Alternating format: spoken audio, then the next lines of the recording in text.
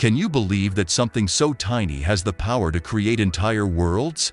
That's right.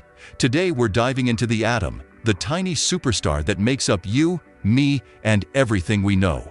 In this video, we're zooming way, way into the tiny world of atoms. These tiny guys are like the Lego blocks of the universe.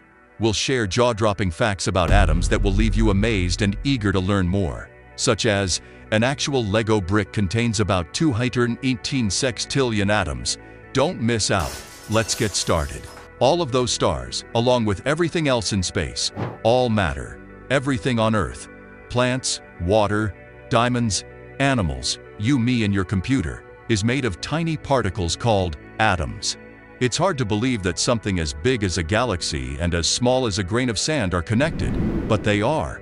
They were all created in a star eons before Earth existed. So, not only is the hydrogen in your blood, for example, from outer space, the hydrogen in your blood is the same as the hydrogen in the sun.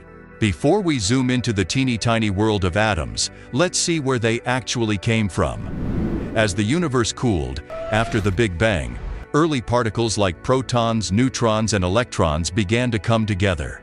Roughly 380,000 years after the Big Bang, the universe had cooled enough for electrons to combine with nuclei, giving birth to the first atoms, primarily hydrogen and helium. Fast forward millions of years, and these atoms began to clump together under the force of gravity, forming the first stars. Inside these blazing furnaces, the intense heat and pressure fused atoms together, creating heavier elements like carbon, oxygen, and iron. When massive stars exploded in spectacular supernovae, they scattered these heavier atoms across the cosmos. These atoms, born from stars, eventually came together to form planets, including our very own Earth.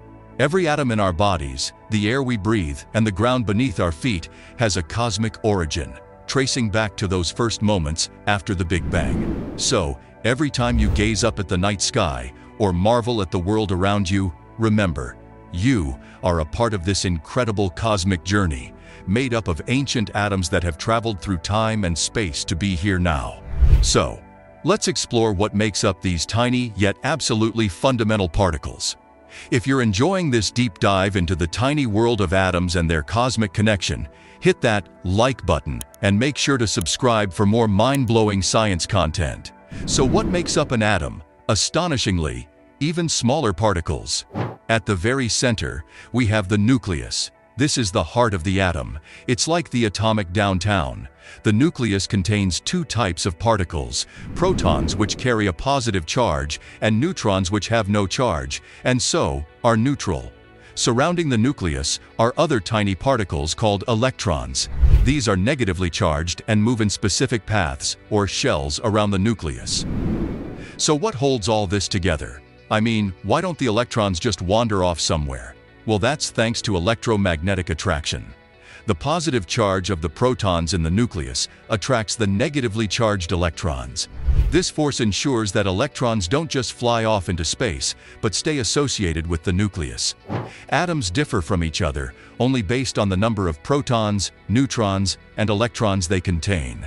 But differences here can yield crazily different results. For example, consider how different oxygen and gold are, right? One is normally a gas, you cannot see or feel it but you can inhale it. Gold is solid, you can touch and feel it. Well, the fascinating thing is, the difference between these vastly contrasting elements is that oxygen atoms contain 8 protons and 8 neutrons, and gold atoms contain 79 protons and 118 neutrons. So, even though the difference between gold and oxygen atoms might seem small, it's this tiny variation that gives us the vast and colorful and infinitely complex universe of materials we see around us. So, now we know what they are. What does the universe's Lego block look like? I'll bet when you think of atoms or even in school books, you may imagine a structure that kinda looks like a mini solar system, right? A central nucleus with electrons orbiting around it. Well, I also remember learning it this way in school. But this is misleading, so toss that idea in the trash can. The truth is, you can't pinpoint where they are at any given time. It's like they play a cosmic game of hide-and-seek. They exist in something called an electron cloud, and we can only predict where they are likely to be, not where they actually are. And the forces that keep electrons in this cloud are the same forces that make magnets stick to your fridge. Nature's pretty consistent, like that. Another twist they probably left out in chem class. Atoms are mostly empty space. Let's take a hydrogen atom, a simple atom consisting of just one proton and one electron.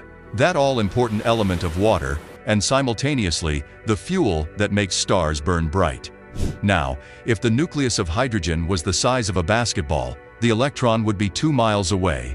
In case you're scratching your head, yes, the most solid things you can think of are mostly empty space.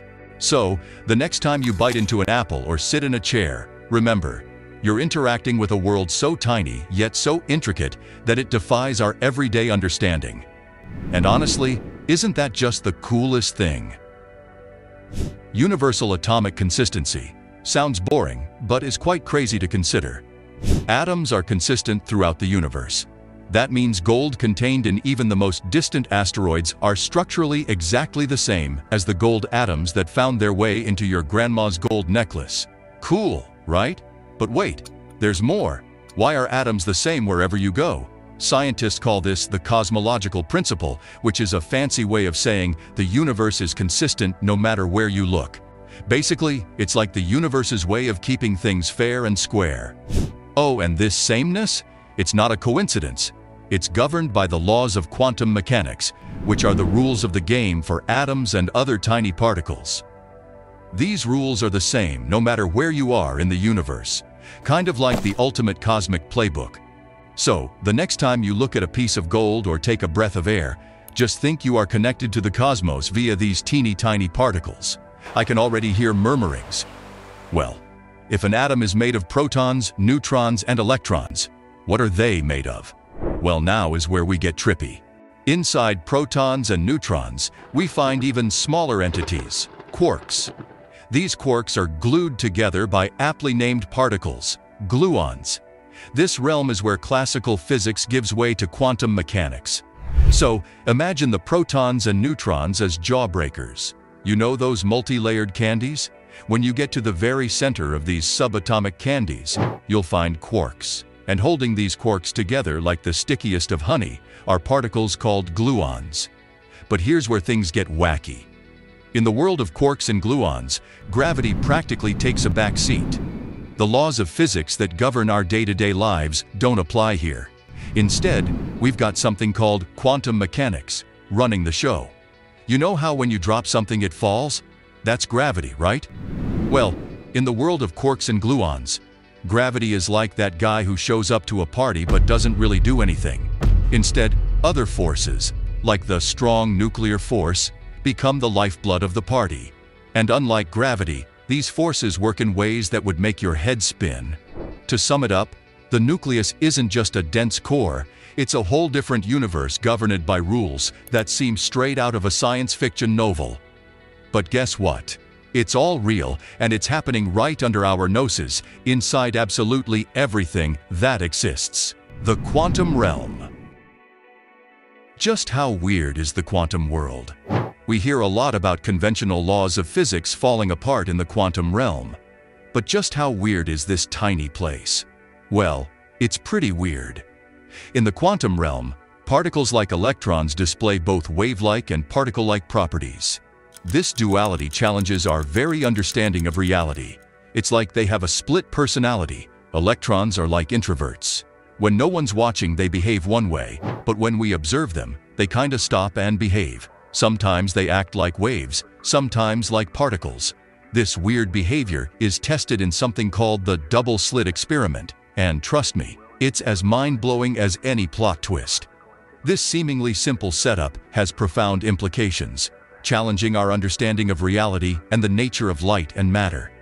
In a world governed by classical physics, one would expect that electrons shot towards the two slits would produce two bands on the screen, corresponding to the slits. This is the behavior we'd expect from everyday objects, like throwing balls through two windows. However, when this experiment is conducted with quantum particles and both slits are open, the result is baffling. Instead of two bands, an interference pattern appears on the screen. This pattern of alternating dark and light bands suggests that the particles are behaving like waves that interfere with each other. The act of observation. To determine which slit a particle goes through, scientists introduce detectors at the slits. But here's where things get even stranger. When the path of a particle is observed, the interference pattern disappears, and the expected two bands form on the screen. This suggests that the mere act of observation alters the outcome of the experiment. It's like the electrons knew they were being watched so decided to behave as we would want them to. Final reflections. Our journey from the cosmic expanse to the atomic heart shows a universe of consistency and wonder. In every vast star or grain of sand, the story of atoms unfolds, binding everything in a tale of creation and connection. Everything and everyone is made of the same building blocks.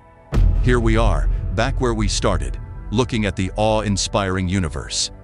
But now, we see it a little differently, don't we?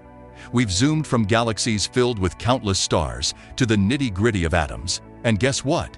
They're all connected. Imagine it, a beach isn't just a bunch of sand, it's a playground of atoms. A star isn't merely a bright light in the sky, it's a cosmic bonfire of atoms. And let's get a bit sentimental here.